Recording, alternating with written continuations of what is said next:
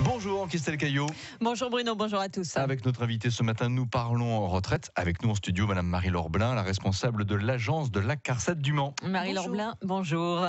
La CARSAT relance son site internet qui avait été lancé en janvier, assurance-retraite.fr, pour inciter les usagers à faire leur demande de retraite en ligne. Alors concrètement, à qui cela s'adresse et comment ça marche? Alors, ça s'adresse aux assurés qui ont 55 ans et plus, euh, qui envisagent bien sûr euh, de prendre leur retraite prochainement, qui habitent euh, effectivement en France ou dans les tomes, ou qui ont eu aussi une carrière à l'étranger dans un pays d'Europe, ou qui a signé une convention avec la France, et puis qui ont eu aussi une carrière éventuellement, bah, bien sûr au régime général, hein, ça c'est le préalable, mais aussi éventuellement dans d'autres régimes MSA, RSI, mais qui kom, enfin, qui terminent leur carrière euh, auprès de, de notre régime. Comment on remplit le dossier? Alors c'est très simple, rapide et sécurisé. Euh, il suffit en fait de créer son compte sur le site de l'assurance-retraite.fr, tout en attaché. Après de d'emprunter le mot de passe que l'on a pour se connecter euh, sur les sites soit d'Amélie, soit de des impôts ou de la Poste par le biais de France Connect. Et ensuite on accède à ces données personnelles. Et alors il faut rentrer toutes ces données personnelles année par année? Comment ça se passe? C'est quoi la suite en fait? Non, nous, une fois que vous avez créé votre espace personnel, on retrouve la carrière de l'assuré et il accède à tous les éléments qui le concernent. Vous dites qu'il faut le faire à partir de 55 ans, par retraite à 55 ans? Alors, on part pas en retraite à 55 ans, mais plus on anticipe dans ces démarches et plus euh, les, le point de départ, effectivement, euh, il faut faire six mois avant la date de départ, hein, sa demande de retraite, mais se connecter, créer son compte, effectivement, il faut l'anticiper pour être à l'aise avec les outils. Et il se passe quoi après? Après, eh bien, euh, donc étape par étape, euh, on remplit son dossier quand on est prêt à partir, donc six mois avant la date de départ, en trois étapes. Hein. donc, on se connecte avec euh, sur le site, on passe par France Connect pour que l'accès soit bien sécurisé et que les données restent bien confidentielles. Surtout, ça c'est très important. Et ensuite, on peut effectivement faire sa demande de retraite en ligne, qui nous permet d'accéder donc à des données personnelles. On a une première étape où on regarde, on vérifie que tout est bon. Ensuite, euh, on indique si on va cesser son activité ou si on l'a déjà cessé. On répond à quelques questions qui sont personnalisées. On ne demandera pas aux hommes s'ils ont eu des congés maternité, par exemple. C'est mieux. Et puis voilà.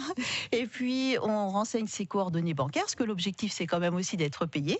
Et on joint les justificatifs. On s'en tient à la demande au strict minimum hein, des documents. Et puis ensuite, après, au cours de l'étude du dossier, il se peut que le conseiller demande des infos complémentaires.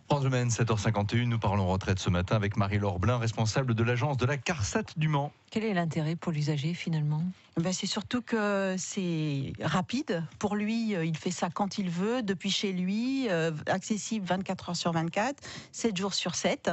Euh, il peut aussi commencer son dossier, l'arrêter, les données sont sauvegardées, il y revient quand il veut.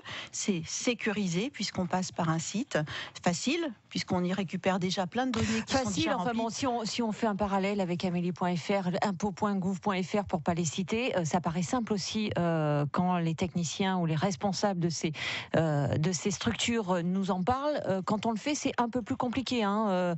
si on prend la référence des impôts.gouv, saisir numéro fiscal, etc., etc., les numéros de dossier, c'est vraiment simple l'assurance retraite? Oui, c'est simple. Et puis après, on laisse pas les assurés non plus en difficulté. Hein. Ils peuvent nous joindre au 3960 et on peut les guider pas à pas dans, dans la démarche hein, si réellement ils rencontrent des difficultés. Un site internet, un numéro de téléphone, est-ce qu'à l'arrivée, ça veut pas dire aussi moins de personnel? Non, après, les ressources sont redéployées autrement. Hein. Et l'objectif que nous avons tous, c'est de payer les gens au bon moment et du bon montant. Donc euh, l'idéal, c'est effectivement qu'il n'y ait pas de rupture de ressources, d'où l'intérêt pour l'assuré d'anticiper sa demande six mois avant, et puis pour nous, après, de pouvoir l'instruire euh, tranquillement et le payer bien à temps. Le site assurance-retraite.fr a été lancé en janvier. Combien de personnes ont fait la demande déjà depuis cette date Alors depuis, pour la région, hein, Pays de la Loire, 3458 personnes depuis janvier, donc on voit que ça correspond bien à une attente, puisque chaque année, il y a environ 38 000 assurés qui prennent leur retraite.